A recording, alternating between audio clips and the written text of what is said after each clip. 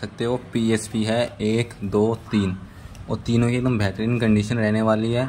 और साथ में वारंटी भी दूँगा इसके मैं। हाँ जी इस वारंटी भी मिलेगी आपको। पी के साथ में वारंटी बहुत ही कम लोग देते हैं, लेकिन मेरे चैनल से आपको वारंटी भी मिलेगी।